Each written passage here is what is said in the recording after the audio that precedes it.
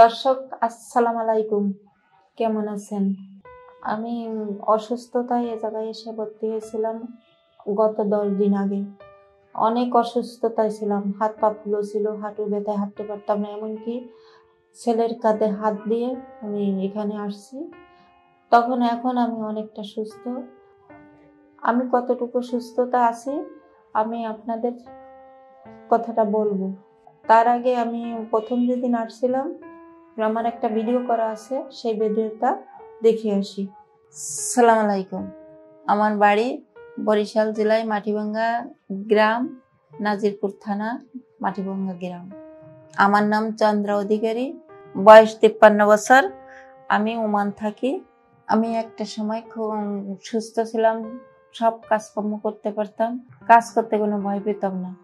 আমি কাজের জন্য ওমান গিয়েছি। হ্যাঁ পাঁচ বছর, সাত বছর যাবত আমি খুব ভালোই কাজ করেছি। আমার উপার্জনের টাকায় সংসার খুব ভালো চলছিল। আমিও মোটামুটি ভালো ছিলাম, মেয়ে বিয়ে দিয়েছিলাম। হঠাৎ করে হাঁটুতে দেখি যে আমি তিন বছর তিন বছর আগে আমি দেখি যে আমার হাঁটুতে ব্যথা। বসতে উঠতে পারি না। আমি দাঁড়ালে বসতে পারি না। হাত ভর দিয়ে বসা লাগে, ওঠা লাগে। এবং হাতের গিরে গিরে ব্যথা, বুকের মধ্যে ধরপর ধরপর করে। আর হাই প্রেশার আছে।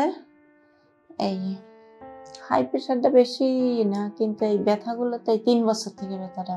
আমি বাংলাদেশে প্রথম ডাক্তার দেখিয়েছি। তিনটে, চারটে ডাক্তার, তিনটে ডাক্তার দেখাইছি বাংলাদেশে।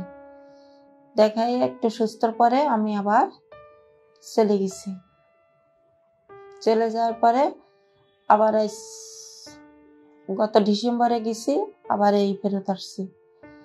আসার পরে ওই জায়গায় যাওয়ার পরে আবারও ফিরে অসুস্থতা দেখার পরে আমি আবার ফেরত ফেরত আসছি। আসার পরে এখন তো এই স্যারের ভিডিও দেখিয়ে আমি আসছি। আসার পরে এখন এই স্যারের এখানে আর কি ভর্তি আমার হাঁটতে প্রচণ্ড কষ্ট হতো হাঁটতে। আমি হাঁটতে ওই যে যেমন এরকম এই রোজার এক মাস আসতে একটু এইভাবে হাঁটা লাগে। আগে পুরোপুরি মোটামুটি হাঁটতে পারতাম। আমি অল শুয়ে শুয়ে গেছি, এই কাজে কমে যাই, বাথরুমে ওয়াশ করতে ধুতে যেতে হবে। কিন্তু আমার এই অলটা আস্তে আস্তে ধরে ধরে যাই, ময়লা ফেলাতে যেতে খুবই কষ্ট হয়। মানে ময়লা ফেলাবো কি? আমি হাঁটিয়ে আগতে পারি না। খুবই কষ্টের পরে আমি মানে এর মধ্যে মানে হাঁটুর মধ্যে আমি যদি উঠি কট কট কট কট শব্দ হয়। হাঁটতে লাগলে শব্দ হয়। আজ কাল কেউ আসার সময় বলতেছি যে, ঈশ্বর যদি আমার মৃত্যু দিত, আমার আর কিছু দরকার ছিল না। এত কষ্ট সহ্য করা যায় না। আমি স্যারে আমি ধরেন সাত আট মাস ধরে দেখি স্যারে আমার সবসময় মনে হতো কি যে আমি স্যারের কাছে গেলে মনে হয় সুস্থ হয়ে যাব। আমার সবসময় এইটাই মনে ধারণা। নিজের প্রতি নিজেরই বিশ্বাস যে হাঁটা চলা খুবই কষ্টের পরে চলেছে এই এয়ারপোর্টে আমার মালিক আর কি মাল জিনিসগুলো দিয়ে গেছে। আমি দুই তারিখ আসছি। এই দেশে দুই তারিখ আসছি। আমি মালিককে বলছিলাম যে, তুই আমার দিন রাত্রে টিকিট দিয়ে আমি সকালে যে ভর্তি হব। কিন্তু মানে পারি নাই। আমি এখনও মানে পাও মেলে যদি ঘুমাতে যাই, পাও গোছাতে পারি না, গোছাতে পারলে মেলতে পারি না। পাও এ সামান্য ফুলে, আজকে একটু কম আছে খুব ফুলে গেছিল অনেক অনেক ফুলো পাও। এ জায়গায় আসছি হলে ছেলেতে ধরে নিয়ে ছেলের পরে ভর করে আসছি ছেলেতে আমার ধরে আনিছে এই জায়গায়। হসপিটালে আমি অনেক ডিপে আসছি, হাসপাতালে আসছি, অনেক অনেক বুক ভরা আশা নিয়ে যে আমি সুস্থ হতে হব এবং শরীরের কাছ দোয়া নিয়ে, আল্লাহর কাছে দোয়া নিয়ে আমি যেন আবার ফেরত সুস্থ শরীরে ওমান ফেরত যেতে পারি। এইটুক ভরসা নিয়ে আমি আসছি ওই দেশ থেকে। আপনারা সবাই মিলে আমার জন্য দোয়া করেন। আমিও আপনাদের জন্য দোয়া করি। দর্শক, আপনারা তো দেখলেন আমার আগের ভিডিওটা। এখন আমি কতটা সুস্থ হয়েছি? এখন আমি সেই কথাটা বলব। যেমন, আমি হাঁটতে পারতাম না।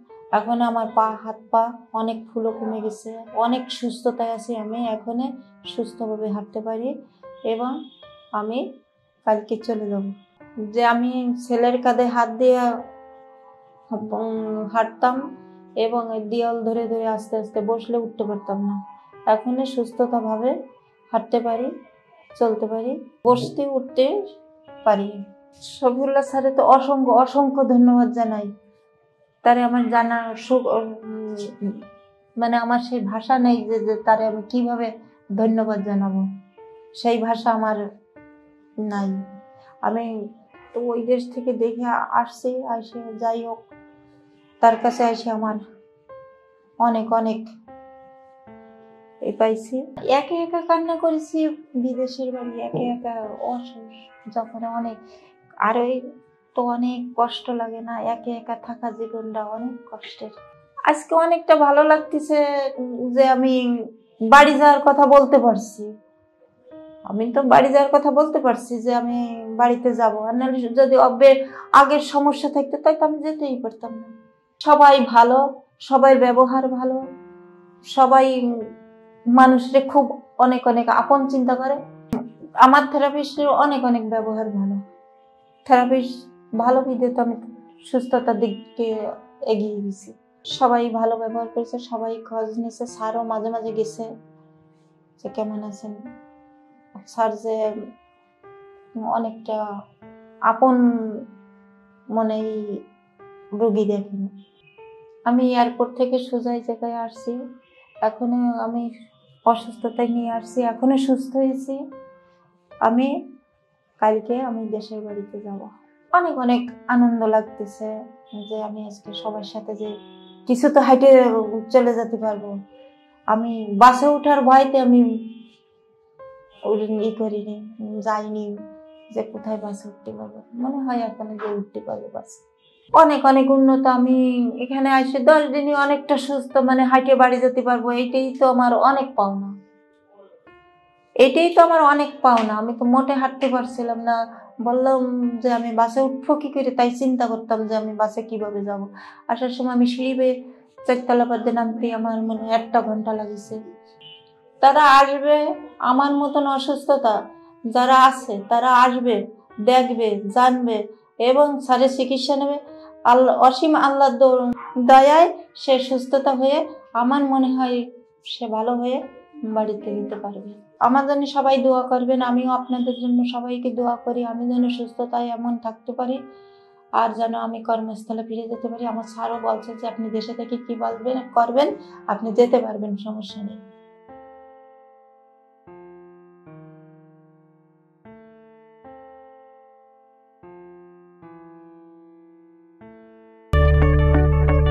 আমরা জানি আপনার প্রিয়জন আপনার জন্য কতটা গুরুত্ব বহন করে। প্রপার ডায়াগনোসিস কনসালটেশন পেইন ও প্যারালাইসিস চিকিৎসা পুনর্বাসন আমাদের সব আয়োজনই সব সময় আপনাদের জন্য চব্বিশ ঘণ্টা খোলা। আমরা চাই না আপনারা বারবার আমাদের কাছে ফিরে আসুন তবুও আমরা আছি সব সময় সর্বদা আপনাদের পাশেই।